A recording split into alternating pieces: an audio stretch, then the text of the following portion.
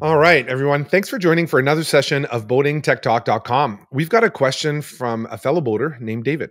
David goes on to ask Jeff, I've got a new to me 2007 pilot house with a 10.5 kilowatt generator. I also have on board a Victron 5000 watt inverter charger, and I recently installed a water maker. Okay, all right, so far that's the setup. My first time at Anchor, I turned the water maker, and after a few minutes, the generator stopped and went in shutdown mode. Okay. I understand that I should have stepped down or turned off the charger when I'm making water. Can you explain what happened? Well, this is a quite common occurrence. The reality is that all of us, um, no matter how big your boat is, could be a 100 footer, could be a 70 footer, could be a 50 footer, could be a 30 footer, could be even 25 footer. Most of us have more AC appliances on our boat that both the shore power or the generator can handle. All of us, all of us, and of course there's exceptions, but even I'm telling you, many, many of us will have to be very careful deciding what loads can be run concurrently at the same time. And it gets trickier because loads aren't loads. Depending on where you are in a load and what kind of load it is, there are what's called inductive AC loads and resistive AC loads. And a water maker is an inductive AC load. And inductive loads mean that you might have a high surge of power required to run that load. So even though you might be running that load at 20 amps, sometimes when maybe a DC motor is turning and suddenly turning on, you might see a high inrush more than the typical amperage that you would see running that load. And that's normal. It's called an inductive load. So when you're actually, uh, no matter what your generator size is, you're going to have to make some decisions as to what can be run at the same time and also the sequence by which you run certain items at the same time.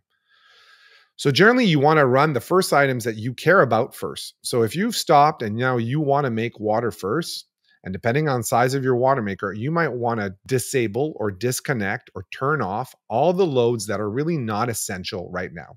And start by loading your generator with the things that matter. And probably I would go start with the inductive loads first, because those are the ones that are going to need more power to start than to run.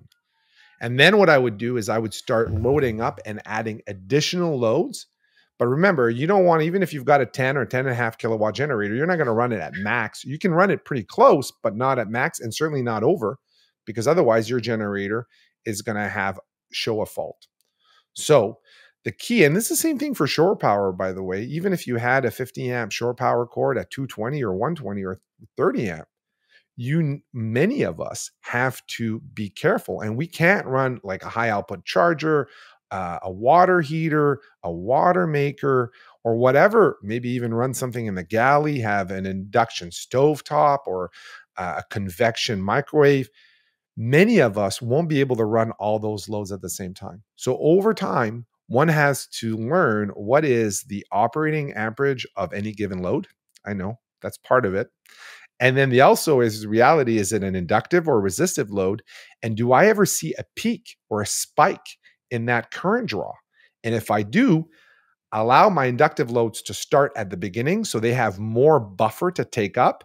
And as you start loading your generator, put your resistive loads at the end because you know that your resistive loads are not going to equal or not going to exceed, sorry, what you anticipated. And so nothing's easy. It's a boat. Even if you have it all, you still have to work at it. And this is a clear example of a typical scenario that happens to many of us. So that's a great question from David.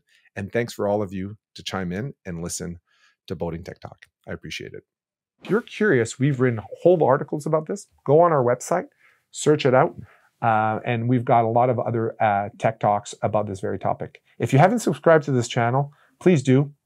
Um, it actually, it really does make a difference. It encourages us to keep posting. So if you're watching this video and haven't had a chance to subscribe, we really do care because the more of you that are watching, the more of us over here are willing to put, spend more time in creating content.